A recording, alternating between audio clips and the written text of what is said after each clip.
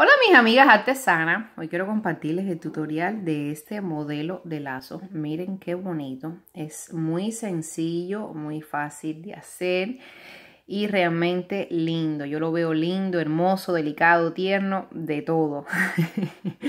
A mí me encantó mis amigas. Y aquí, pues como ven, es otra combinación, esta es otra bandita. Y miren qué bonito se ve rosado con el amarillo. Entonces, para las muchachas que no han visto el tutorial de estas rositas rococó, yo se los voy a dejar en el enlace, perdón, el enlace se lo voy a dejar en la descripción del video para que vean el tutorial, se los recomiendo mis amigas, porque es una, una rosita que lleva su trabajito, pero luce muy bonito en los lazos, miren. Ustedes lo pueden hacer en cualquier modelo de lazo y siempre va a lucir bonito. Entonces, para las otras que ya han hecho esta rosita, entonces yo utilicé para hacer las hojitas, esta cinta, como ven, es bien finita. Y entonces para hacer unas eh, hojitas para una sola rosita, esta cinta mide 0.4 centímetros por 5 centímetros y medio de largo para hacer una hojita. Y entonces esta rosita, como ven, esta es rosada y esta es blanca. La utilicé con esta cinta, miren, bien finita. Esta mide, esta mide 0.6 centímetros y esta mide 0.7. Pero las eh, rosas, no importa con la medida que la hice, es mejor dicho de ancho, siempre va a ser 8 centímetros de largo o 9 centímetros en caso de que quisiera que la rosita quedara un poquito más grande que esta. Pero bueno, de este tamaño, que miren, estas son las de tutorial, miren qué chiquitica, estas serían así, de 8 centímetros de largo, eh, utilicé con esta cinta bien delgadita. Y entonces, otra cosita, quiero que se den cuenta de este detalle de las puntas así eh, bien levantaditas. Y entonces miren este. Ven que este tiene las punticas igual, pero como más acostadita y entonces el lazo es como más cuadradito. Y este, ¿no? Este la tiene más hacia arriba. Miren ahí la diferencia. Cuando le esté explicando el, paso a paso para una mitad del lazo, pues yo le voy a decir el detallito que hace que estas punticas queden más levantaditas o no, ¿ok? Bueno, vamos a empezar con el tutorial.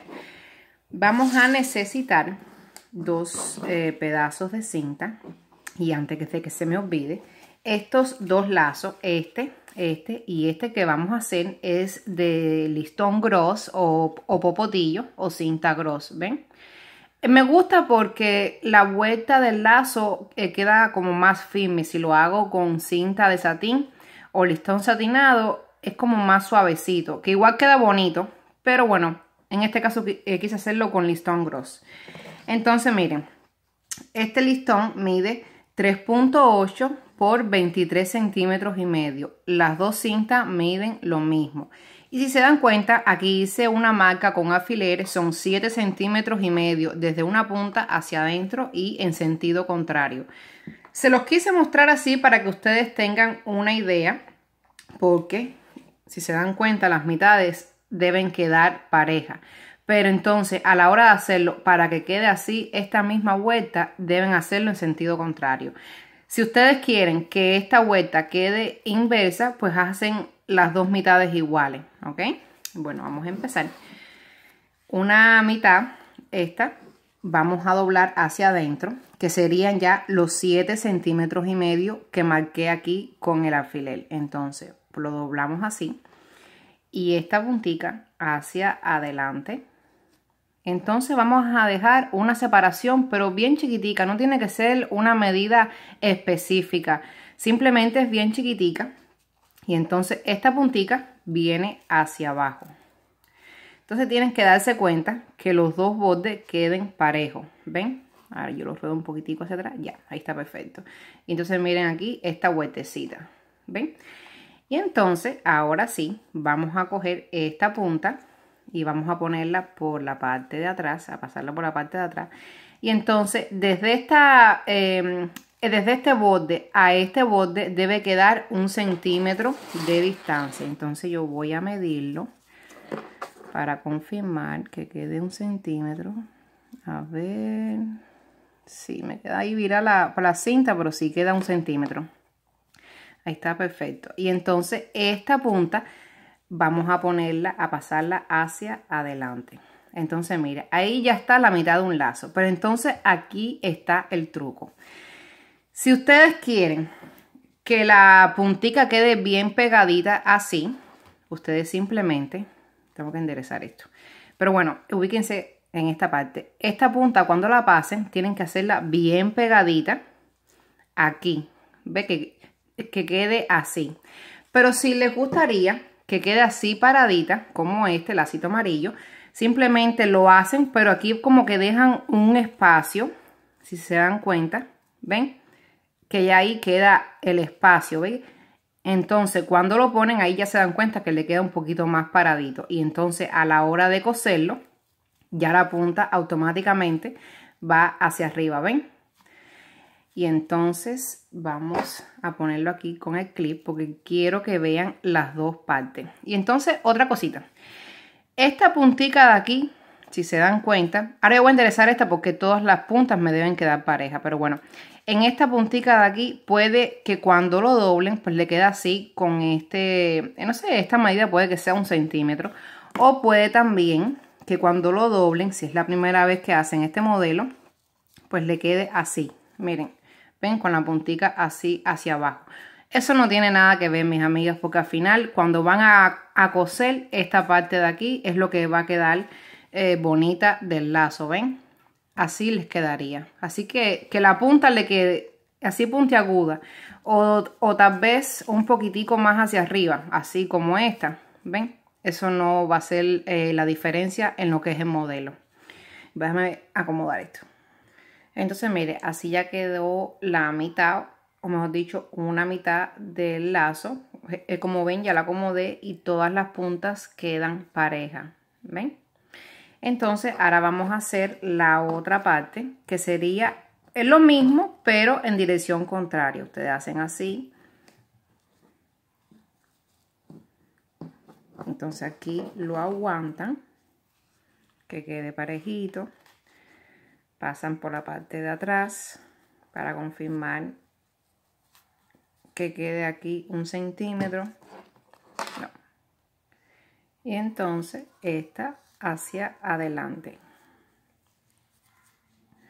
Y si se dan cuenta déjame mirarlo para enderezarlo ustedes eh, siempre busquen la manera que les sea más cómodo ¿me?